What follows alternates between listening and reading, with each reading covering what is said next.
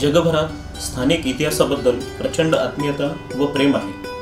हजार वर्ष पारतंत्र्यात राहिलेला कोणताही समाज आपली संस्कृती आणि ऐतिहासिक ओळख विसरणे इतका बधीर नक्कीच होऊ शकतो. अशा वेळी इतिहासातील गौरवशाली क्षणांचा अभ्यास करून तो पुढच्या पिढीपर्यंत पोहोचवणे ही प्रत्येक काळाची गरज आहे. अशाच एका शूरवीराच्या पाऊलखुणा शोधण्यास आम्ही निघालो. छत्रपती शिवाजी महाराज यांनी शून्यातून हिंदवी स्वराज्य निर्माण केले. छत्रपतींच्या सोबत स्वराज्य निर्मितीत ज्या ज्या शूरवीरांनी आपले सारे आयुष्य वेचले त्यातील एक नरवीर म्हणजे छत्रपतींचे उजवे हात. प्रति शिवाजी म्हणून इतिहासात ओळखले गेलेले सरसेनापती नेताजी पालकर. सरसेनापती नेताजी पालकर यांचा जन्म सध्याच्या रायगड जिल्ह्यातील खालापूर तालुक्यातील चौक या गावी झाला. धावरी नदीच्या काठावर वसलेलं एक टुमदार गाव.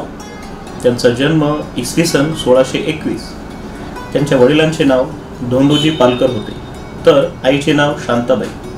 धोंडोजींच्या काळातच पालकर घराणे भोसले घराण्याशी जोडले गेलेले होते. आज या गावात नेताजींच्या जन्मस्थळाचे सुशोभीकरण गावातील प्रवेशद्वाराचे सुंदर काम झाले आहे. याशिवाय ग्रामपंचायतीने एक सुंदर स्मारक बनवले आहे.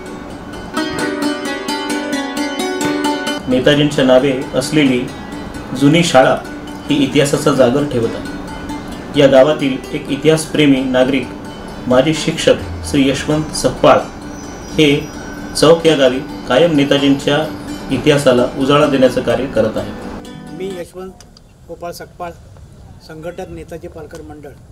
नेताजी पालकर मंडळ चौक शहरामध्ये गेले पस्तीस वर्ष कार्यरत असून आम्ही किल्ले स्पर्धा घेत असतो निबंध स्पर्धा घेत असतो आणि उंबरखिंडीचा जो इतिहास आहे ऐ- ऐतिहासिक त्या त्यामध्ये सुद्धा आमच्या चौकवाले सहभागी होत असतात.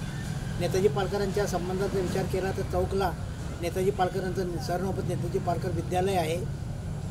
नेताजी पालकर भातगिरणी आहे.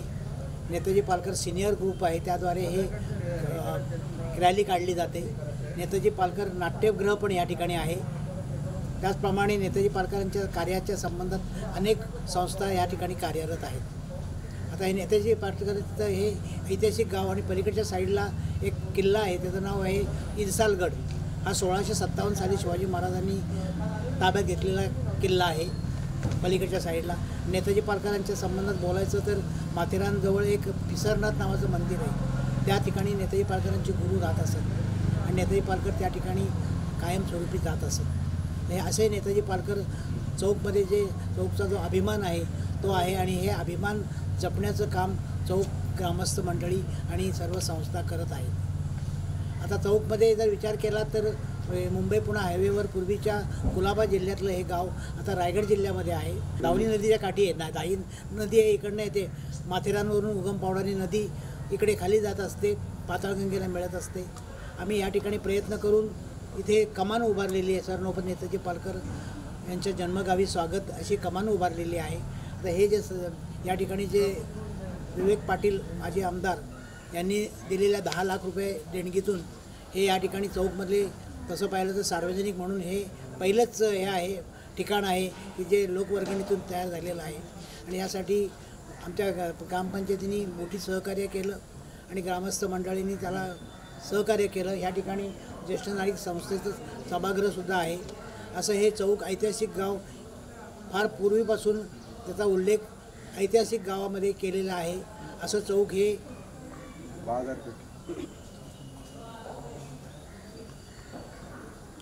रायगड जिल्ह्यामध्ये चौकगाव चौकगाव मशहूर. इथे जन्मले शूर आणि वीर. त्यांचे नाव नेताजी पालकर करू वंदनीया शूरवीराला शूरवीराला.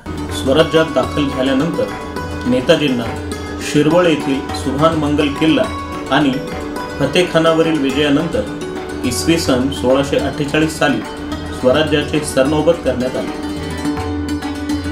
अफजल खानाच्या वधानंतर प्रतापगडाच्या पायथ्याशी जावळी खोऱ्यात नेताजी पालकर यांच्या नेतृत्वाखाली खानाच्या सैन्याची दानादान उडाली होती.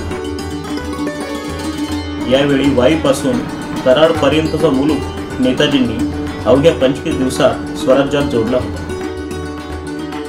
याच काळात पन्हाळा किल्ल्यावर राजे असताना सिद्धी जोहरने किल्ल्याला वेढा घातला. ही बातमी कळताच नेताजी पालकर हे पन्हाळ्यावर चढाई करण्यास आले. यावेळी धुमुसचक्री झाली. पण अफजल खान वधानंतर सारखे घोड्यावर असलेले नेताजी व त्यांची तुकडी यात अपयशी ठरली. पण या संकटातून शिवाजी महाराज बारा जुलै सोळाशे साठ रोजी सुखरूप निसटले. यावेळी शिवा नाधी आणि बाजीप्रभू देशपांडे हे स्वराज्यासाठी कामी आले.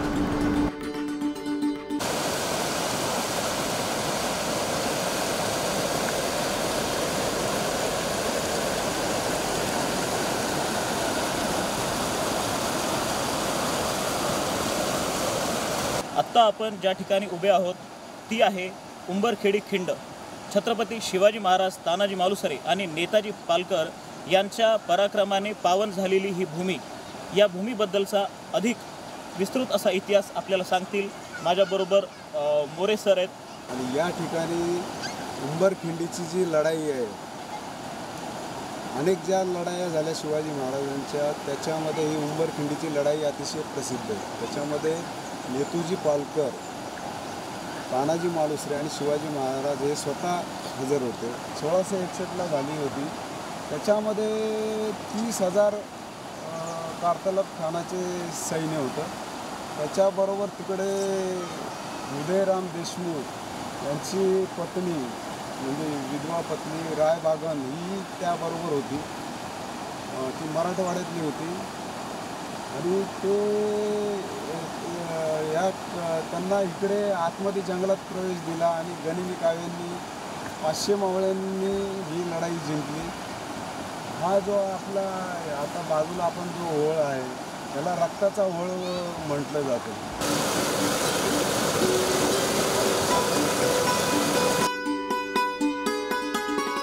शिवाजी महाराज कुणाच्याही आटोक्यात येत नाहीत हे पाहून औरंगजेबाने आमेरचे राजे मिर्झा जयसिंग यांना स्वराज्यावर पाठवले. मिर्झा राजे एकतीस मार्च सोळाशे पासष्ट रोजी पुरंदरच्या पायथ्याशी येऊन पोहोचले. यावेळी किल्लेदार मुरारबाजी देशपांडे यांच्या नेतृत्वाखाली सातशे मराठा वाघ मोगलांवर तुटून पडले. यात मुरारबाजी देशपांडे यांना वीरमरण आले. पुढील प्रचंड हानी टाळण्यासाठी शिवाजी महाराजांनी अकरा जून सोळाशे पासष्ट रोजी मिर्जाराजेंसोबत पुरंदरचा तह केला. या तहानुसार संभाजी महाराजांना मोगलांची पाच हजाराची मनसबदारी देण्यात आली. शंभूराजे लहान असल्याने त्यांचे पालक म्हणून नेताजी पालकरांना दख्खनमध्ये पाठवण्यात आले.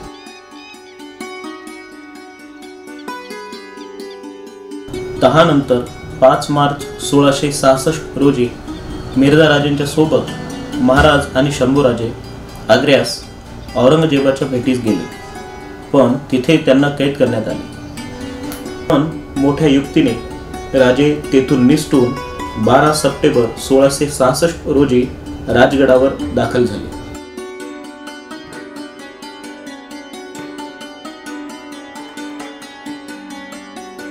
पण याचा वचपा काढण्यासाठी औरंगजेबाने मिर्झा राजेंकरवी त्यांच्याच चाकरीत असलेल्या नेताजींना चोवीस ऑक्टोबर सोळाशे सहासष्ट रोजी किल्ले दारूर येथून अटक करून दिल्लीस आणले आणि त्यांचे जबरदस्ती धर्मांतरण झाले.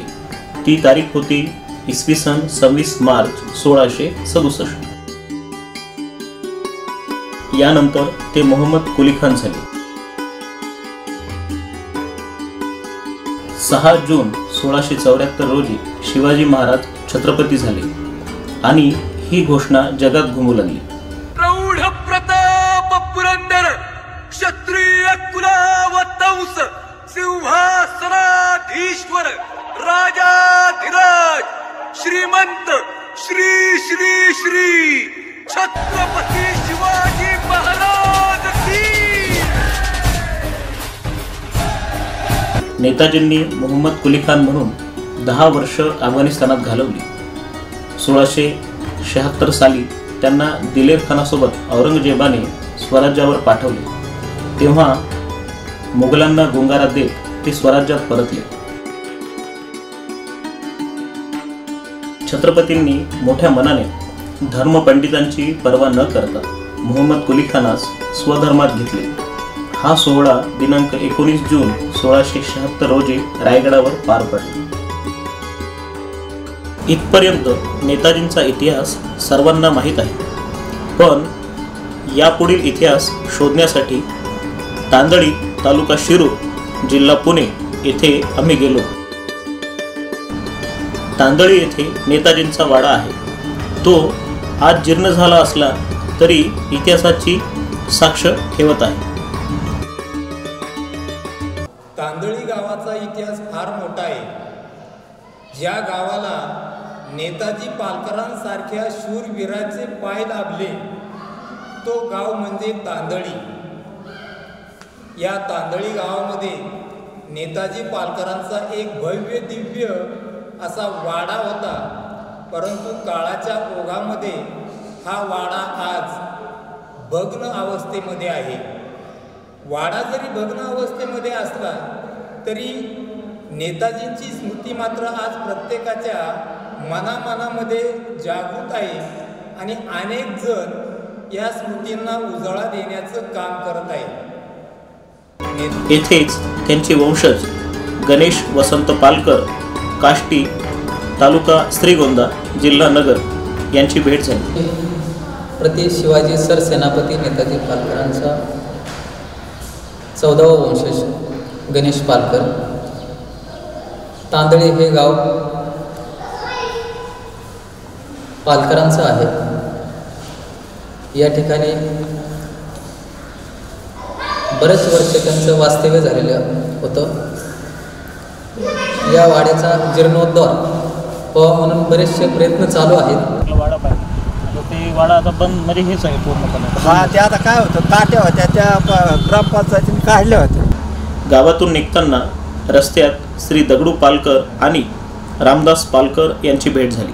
सरसेनापती नेताजी पालकर यांचे वंशज महाराष्ट्रामध्ये खूप ठिकाणी पसरलेले आहेत. त्याच्यापैकी तांदळी एक गाव आहे त्याच्यानंतर जामखेड एक गाव आहे त्याच्यानंतर नागपूर आहे पिंगळी आहे तामसा आहे हातगाव आहे. तर नेताजी पालकर यांच्या वंशजाकडे आज आपण जामखेड तालुका आंबळ जिल्हा जालना इथं आलेलो आहोत. यांचे जे मूळ पुरुष आहेत पालकर घराण्यातले जे इथं आले होते त्यांचं नाव होतं हरिभाऊ पालकर.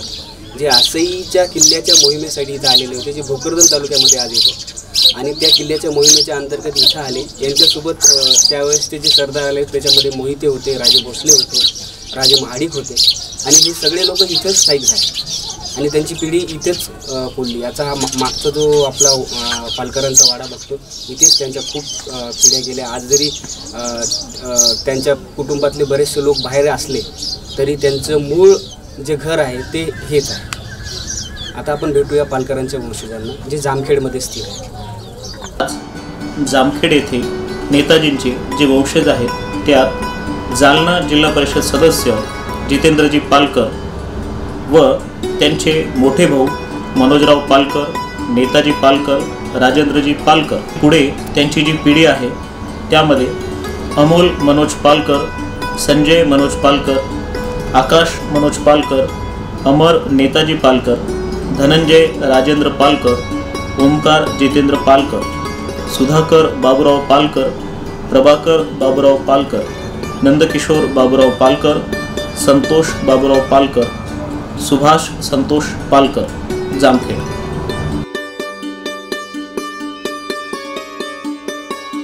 मी जितेंद्र दशरथराव पालकर. मी आपल्या ह्या डॉक्युमेंटरीच्या माध्यमातून एक महाराष्ट्र शासनाला मागणी करू इच्छितो की तामसा येथील जे छत्रपती छत्रपती शिवाजी महाराजांचे सरसेनापती सरमोबत नेताजी पालकर यांची जी समाधी तामसा इथे आहे ती अत्यंत दुरावस्थेत सध्या आहे. ते त्या समाधीचा महाराष्ट्र शासनाने आणि पुरातत्व विभागाने त्या विभाग त्या समाधीचा जीर्णोद्धार करावा आणि तिथील तिथं स्मारक उभा करावं हे मी आपल्या वतीने आपली शासनाला विनंती करतो.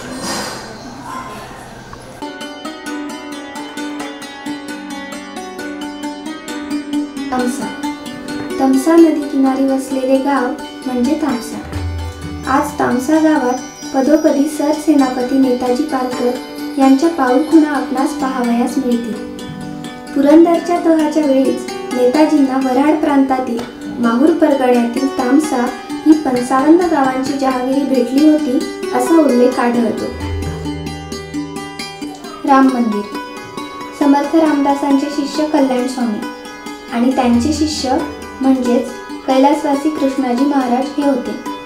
हे कृष्णाजी महाराज तामसातील राम मंदिराचे संस्थापक होते. भटकंती करत जेव्हा कृष्णाजी महाराज तामशात आले तेव्हा येथे नेताजींची जहागिरी होती असा उल्लेख सज्जनगडावर आढळतो असे येथील माहितगार कैलासवासी बापूजी सबनीस सांगत. कैलासवासी बापूजी सबनीस यांचे राम मंदिरातील इतिहासाबद्दल हस्तलिखित आजही राम मंदिरात आहे.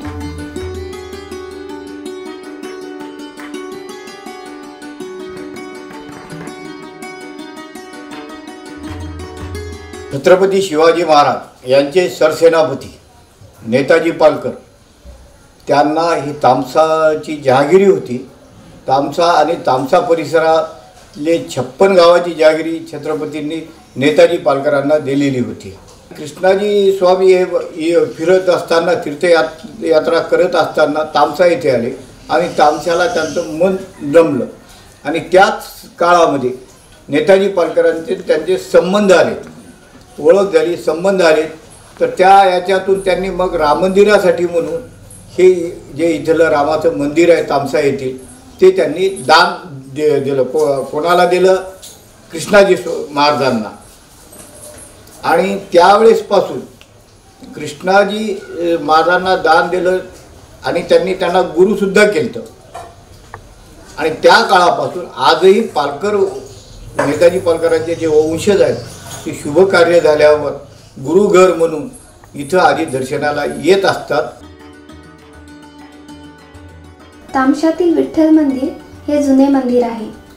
हे विठ्ठल मंदिर हेमाडपंथी मंदिरासारखेच भासते. या समोरील तीन मजली माडी मनाला मोहिनी घालते.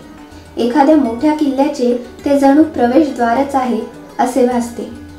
या मंदिराला नेताजींनी जमीन दिली होती असे सांगितले जाते.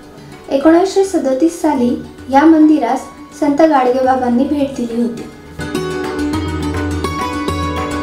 तामसा येथे सरसेनापती नेताजींची समाधी आहे. हे सर्वप्रथम प्रसिद्ध इतिहासकार तात्यासाहेब उर्फ व्ही. अ. कानोले यांनी विसाव्या शतकाच्या मध्यावर सिद्ध केले. त्यांचे अनेक शोधनिबंध यावर प्रकाशित झाले. याबद्दल त्यांचे बरेच अप्रकाशित साहित्य सुद्धा उपलब्ध आहे.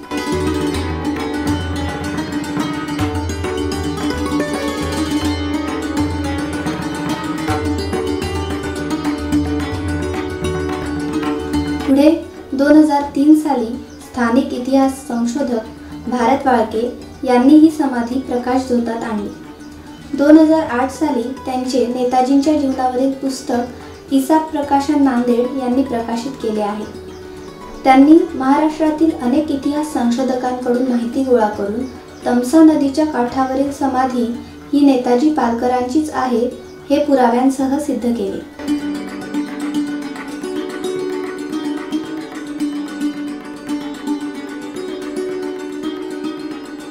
त्यांना दोन हजार बारा साली तमसा नदीच्या सपाटीकरणाच्या वेळी सापडलेली शिळा त्यांनी अजूनही जपून ठेवली आहे. या शिळेवर नेताजींचा स्पष्ट उल्लेख आढळून येतो. या समाधीविषयी गेल्या अठरा वर्षात त्यांचे अनेकांशी पत्रव्यवहार झाले आहेत. शिवाय दोन हजार आठ साली जिल्हाधिकारी राधेश्याम मोपलवार आणि दोन हजार एकोणावीस साली जिल्हाधिकारी श्री अरुण डोंगरे यांनी समाधीस्थळाला भेट दिली आहे. इसवी सन सतराशे बारा साली याच तामसा जहागिरीत सरसेनापती नेताजी पालकर यांचे वृद्धापकाळाने निधन झाले आणि इतिहासातील एक झंझावात शांत झाला. पुढे सतराशे चोवीस साली मराठवाड्यावर हैदराबादच्या आसफजाही घराण्याची सत्ता आली आणि सतराशे बेचाळीसच्या दरम्यान पालकरांची जहागिरी संपुष्टात आली. त्यानंतर पालकर कुटुंब तामशाजवळील पिंगळी या गावात स्थायिक झाले. दोन हजार सहा सालच्या मुलाखतीत त्यांचे वंशज कैलासवासी आप्पाराव पालकर सांगतात. ताजी पालकरचा मुलगा करणसिंग पालकर राजे करणसिंग पालकर करणसिंग पालकरचा मुलगा राजे लक्ष्मण पालकर लक्ष्मण पालकरचा मुलगा सदाशिवराव पालकर सदाशिवरावचा मुलं बाळासाहेब दादासाहेब पालकर. तर बाळासाहेब स्थायिक इथं झाले. बाळासाहेबाचा मुलगा रंगराव. रंगरावची मुलं आम्ही आणि दादासाहेबाची मुलं नागपूरला आहेत. कैलासवासी अप्पाराव पालकर यांचे मोठे बंधू कैलासवासी गणपतराव पालकर हे हदगावचे आमदार होते. त्यांच्याजवळील नेताजी पालकर यांच्याविषयीची अनेक पत्रे आजही संकलित आहेत. त्यांच्या अशाच एका एकोणीसशे अठ्ठ्याऐंशी सालच्या पत्रातून पालकर घराण्याची बरीच माहिती मिळते. आज त्यांचे पुत्र श्री अशोकराव पालकर हे पिंगळी या गावचे सरपंच आहेत. नेताजी पालकर हे शिवाजी महाराजाचे उजवे हात मानले जायचे. त्यांना प्रति शिवराई म्हणून ओळखलं जायचं. म्हणून नेताजी पालकराचे जी समाधी आहे त्याचा लवकरात लवकर जीर्णोद्धार व्हावा एवढीच माफक अपेक्षा मी सरकारकडून करतो. आज तामशातील पठाण कुटुंबियांच्या शेतात नेताजींची ही समाधी आहे. नेताजींची ही समाधी हिंदू मुस्लिम एकतेचे प्रतीक व्हावे अशी त्यांची मनस्वी इच्छा आहे. आता सरकार दरबारी याची दखल घेतली जात आहे. हा गौरवशाली इतिहास नवीन पिढीस नेहमीच प्रेरणादायी ठरेल. हिंदवी स्वराज्याचे सरसेनापती नेताजी पालकर यांची समाधी तामसा तालुका हदगाव जिल्हा नांदेड या ठिकाणी तमसा नदीच्या किनारी आहे. छत्रपती शिवाजी महाराजांच्या स्व स्वराज्यामध्ये त्यांच्या असणाऱ्या योगदानामुळे त्यांना प्रति शिवाजी असेही म्हटलं जात होतं. नेताजी पालकर यांचा जन्म चौक तालुका खालापूर जिल्हा रायगड या ठिकाणी सोळाशे एकवीस साली झाला. मागे इतिहासात जेव्हा आपण डोकावून बघतो तेव्हा असं लक्षात येतं की सोळाशे पंचावन्न ते सोळाशे साठ. या काळात जेव्हा छत्रपती शिवाजी महाराजांनी दाभोळवर स्वारी केली त्यावेळी स्वराज्याची सगळी सूत्र त्यांनी सरसेनापती नेताजी पालकर यांच्याकडे सोपवली. सोळाशे साठला अफजल खानाच्या वधाच्या वेळी ने जावळीच्या परा खोऱ्यामधील त्यांचा पराक्रम छत्रपती शिवाजी महाराजांनी बघून त्यांना सरसेनापती ही पदवी बहाल केली. सोळाशे सहासष्टमध्ये औरंगजेबाच्या नजरकैदीतून छत्रपती शिवाजी महाराजांनी स्वतःची सही सलामत सुटका करून घेतली. त्यावेळी चिडलेल्या औरंगजेबाने स्वराज्यातील विविध मावळ्यांची धरपकड सुरू केली आणि त्यामध्ये त्यांनी मिर्झा राजे जयसिंगा करवी नेताजी पालकरांना किल्ले धारूर जिल्हा बीड या ठिकाणातून अटक केली. औरंगजेबाने त्यांचं धर्मांतर केलं आणि मोहम्मद कुली खान हे नाव त्यांना दिलं. परंतु स्वराज्यावर नितांत निष्ठ असणारे सरसेनापती नेताजी पालकर परत स्वघरी परतले त्यांना छत्रपती शिवाजी महाराजांनी तेवढ्याच सन्मानाने पुनश्च एकोणीस जून सोळाशे शहात्तरला रायगडावर त्या काळच्या रूढी परंपरांना झुगारून त्यांना स्वधर्मामध्ये परत घेतलं. अशा या थोर सेनापतीचा मृत्यू वार्धक्याने सतराशे बारा रोजी तामसा या ठिकाणी झाला.